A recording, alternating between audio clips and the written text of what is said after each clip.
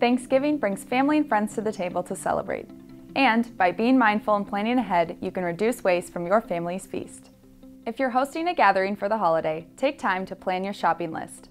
Only buy what you know you'll use. This is especially important when purchasing perishable items. Skip paper and single-use plastic dishware when plating your meal. Instead, go for reusable cutlery, dishes, and napkins.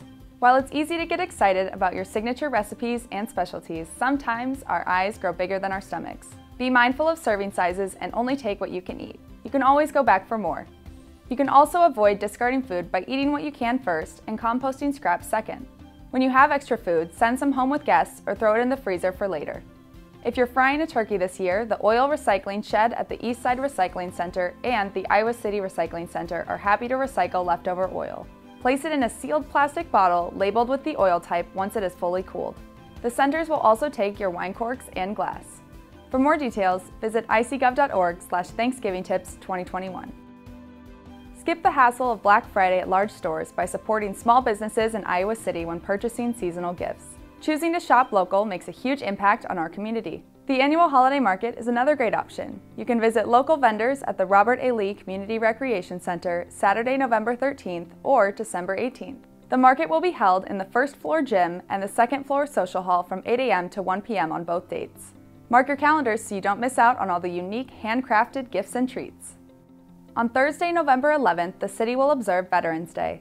Administrative offices and other facilities will be closed, but some city services will operate through the holiday.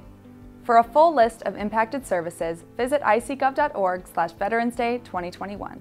Transit will be open for normal operations. Free rides will be provided for veterans and their families on fixed route city buses and Johnson County SEATS. Just show a military ID or other identification indicating military status. Crews will also collect trash, organics, and recycling, so make sure to have your bins to the curb if Thursday is your regular pickup day. Our leaf vacuum program will also be running on Veterans Day. The library will be open from 10 to 6, but no bookmobile. Again, head to icgov.org slash Veterans Day 2021 for the full holiday schedule.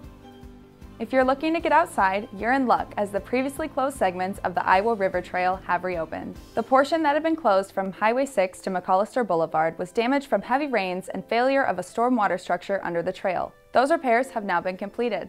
Running throughout Iowa City and the surrounding area, the Iowa River Trail provides residents and visitors alike with an invaluable off-road means of getting around the city.